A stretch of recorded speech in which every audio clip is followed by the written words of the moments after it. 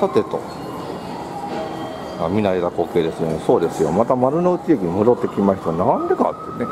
まあ、まあ、乗り換えをしようと思ったわけなんですけどね。なんかねちょっと今調べとったらどうもねこの出口の先のところにカツ屋があるらしいんですよね。でそのカツ屋がね朝早くからやってるみたいでね。なんか朝の7時から営業してるらしいんですよ。カツ屋なのに。ほんまかいなということでね、えー、一応ねちょっと見に行こうかなと思います。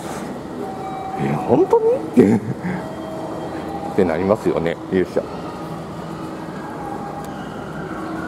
この先行ったところらしいですけどね。さて古めかしい出口に行きましたけどこれ丸の内駅の8番出入り口ね。この奥はいろいろ銀行やらがわーってあるところですけどね。で反対側を見るとお初屋がやってますね。まあ10時から営業なんだなと思いますけどあ本当だ。営業時間が。近く行きゃいいか。本当に朝の7時からやってんだ。すげえな。朝の7時からカツが食えるって最高な街じゃないですか。ダイエット中の人間が言うセリフじゃないですけどね。ね。丸亀製麺ならまだね分かるじゃないですか。朝うどんってね結構地域によっては結構そういう風習ありまして朝のうどんはねさっとくれるしいいじゃないですか。朝からカツですよ。でモーニングメニューを来るわけでもなしがっつりカツですね。カツ食ってきましょう。はいよってことでね食べてきましたよ。カツ屋さんで、ね、食ってきましたいやよかったですね。いやもうね朝の7時から11時まではねモーニングもやってるみたいで外には出てない書いてないですけどね。あのー、何があるかって言ったらねあの結構いろんなメニューがあって豚汁朝食みたいなね豚汁大きい豚汁とライスがついたのが390円からあったかな。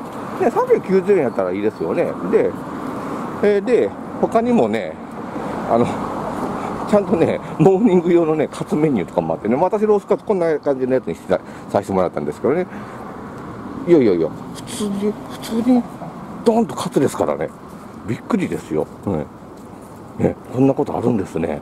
ねで、これでね、えっ、ー、とね、値段がね、450円税抜き。ですからね、あの500円切りましたからね。うんまあこれはね、すごいんですけど、あただ、あれなのかな、あのーえー、ここれだとね、あの100円の割引券を使いませんからね、そうすると、ね、550円ぐらいの、うん、あれと、あのー、確かに、あの、えーと、カツ丼とかとあれなんかなと思、でもこっちは定食ですから、定食で450円でカツが食えると、ワンコインでカツが食えるんですよ。ね。すごくないですか？ね。え ってことでね、これはね、ぜひね、どんどんやってほしいなと思いますけどね、私みたいに夜勤明けの人間なんかはね、うん、仕事終わった後にかつかね、このワンコインで食べれるって言ったらね、これはありがたいですよ。うん。ね。と思います。あちなみにやはり朝晩ととあのとんとかあと生姜焼きもあってね生姜焼きなんてあるんですね。生姜焼きも人気みたいでしたね。結構頼んではる方が多くてあの開店もよくてねうん。